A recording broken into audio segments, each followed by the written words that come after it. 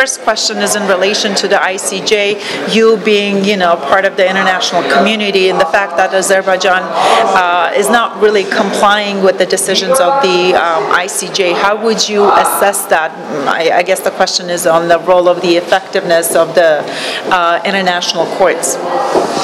As I said yesterday, it is important that um, in, we all have to respect international law. We, if we want international law to protect us, we have to respect it, everyone, every state. Um, it does not help for any state to disregard the judgment of the International Court of Justice.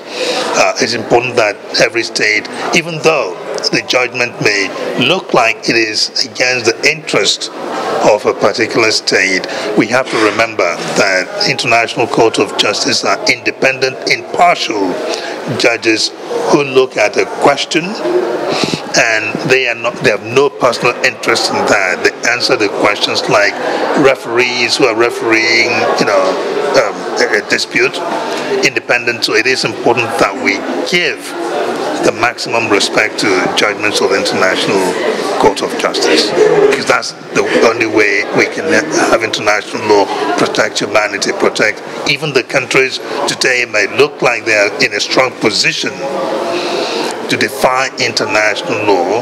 If that system crumbles, they may end up tomorrow needing that system, but it will not be there to protect even they. What other tools can we potentially use to uh, to enforce the decision of the international courts? Um, other tools referring the uh, matter to um, the United Nations would be one thing to consider. Um, there are two systems in the UN. First, you have the Security Council, of course, to have the difficulty with, right, um, would any state in the Security Council exercise veto power that will stop the Security Council doing something. Uh, but beyond the Security Council, you also have the UN General Assembly. That is another place where people can refer questions, but it is important that we all make efforts to see that international uh, judgments of international courts, be it the International Court of Justice or the International Criminal Court, are respected and enforced around the world. There's a Council of Europe as well, that, or, or the OSCE, basically all the international uh, forums that the countries in question are uh, member states to can be used as a way to try and enforce the judgment of International Court of Justice. Court of Human Rights, that well, it depends. So that's a, an avenue. I mean, if it's a human rights question, you can go there. If it's also the um, European Court itself, the European Court of Justice can also be, you know, a mechanism that can be looked at. So you, um, but these are ideas I'm giving, and the, the legal, um, you know, advisors to various governments can look into more detail about what is possible. But I'm also thinking about, you know, associations where you have peer nations, as in, you you know, peer pressure. When you are a member of an association, uh, it may not be a court of law, but you table a complaint to a group of states or members to them, look, here is a problem we have um, we've not been able to resolve this thing as one-on-one negotiation. We've gone to court, we've obtained judgment from a court. That judgment is not being respected. Can you help us to see that this judgment is respected or this matter is resolved? At all times, it is important, as I stress, to use diplomacy all the tools of diplomacy to resolve a problem, to use the tools of negotiation to resolve a problem.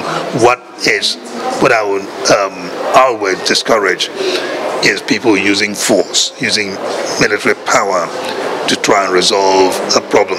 It is never good. It doesn't end up well at all. Քաղաքական նաև քանի որ խոսվում էր ճնշումների վերաբերյալ շատ հաճախ գիտենք որ քաղաքական կամքը նաև այլ պետությունների կողմից քաղաքական կամքի դրսևորումը հանգեցնում է նրան որ այդ որոշումները կայացվեն թեկուզ օրինակ պատժամիջոցներ են կիրառվում եւ այլ այն պետությունների նկատմամբ որոնք իրավական որոշումները չեն կատարում So she's talking about the political will of specific countries or certain countries. She didn't mention any countries to enforce such decisions. Uh, for example, the with the utilization of specific sanctions, you know, by certain countries again against the aggressor to enforce the uh, decisions of the international court. What are your views on that? Use of pressure and you know sanctions to enforce uh, judgments. It depends on if it, it, it's always better, as I say, to use peaceful means to enforce a judgment. Um, course, there are different grades of peaceful means. Some of them could be okay, let's negotiate to if negotiation fails to bring pressure. Pressure could be moral pressure. If that doesn't work, well, people may have to resort to, you know, using the groups they belong to to impose uh, sanctions. But then the group in question uh, will assess it to see whether the standards for sanctions are met in that particular situation. So it's up to them to, to weigh whether to impose sanctions or not. So հետագնում համարյա թե նույն նախորդ հարցի պատասխանին, այսինքն իհարկե կարևոր է խաղաղ ոնց որ ճանապարհներով, դիվանագիտական ճանապարհներով, բայց նաև եթե դա չի գործում, արդեն հետագնում եթե ինչ որ ասոցիացիաների միջոցով կողմից կարողանում են այդ ճնշումներ, սանկցիաներ կիրառվել, եթե սանկցիաներ կիրառելու ոնց որ level-ին ասենք թե հասել ենք Ռոմի ստատ Ռոմի ստատուտի հետ կապված վերջին որոշման հետ շատ են կապում քննադատում են եթե օրինակ Հայաստանում վավերացվի Պուտինի ձերբակալման որոշման հետ կապված այս առումով ինչ կարող է ասել, որովհետև բավականին քննարկվեց եւ եթե Ռոմի ստատուտը վավերացնում ենք, ապա սա ինչ է նշանակում։ Օրինակ Վլադիմիր Պուտինը այստեղ եթե գա պիտի ձերբակալվի։ Բացի Պուտինը լրացնող հարց է, Լիլինա ջան, մեկ էլ մակի որոշումները չկատարելու ժամանակ այդ օրերին նաև այսինքն այս վերջին ժամանակահատվածում Հայաստանում նաև ակտիվ էր քննարկումը, որ Հայաստանը պետք է դիմի միջազգային դատարան այս Արցախի հետ կապված հարցերի լուծման կարող է Two parts but they're kind of related. Uh, first of all, the, the issue of the Rome Statute ratification and the issue of the Russia's president uh, Vladimir Putin potentially being arrested in Armenia. Uh, if you see that as an issue, that's one. And the second of all, if uh, you know the ICJ was not able to really, the judgment has not been let's say if there has been a ratification of the Rome Statute, could the issue of the Artsakh be potentially, you know, discussed at the ICC since there has been no compliance with the ICJ? All right, there are two questions. well, the um, what I, I, mean, yes, of course, that question always comes up. Well, what will the um, um, uh, membership of um, Rome Statute and what happens if uh, would there be an obligation to arrest um, President Putin or anyone else.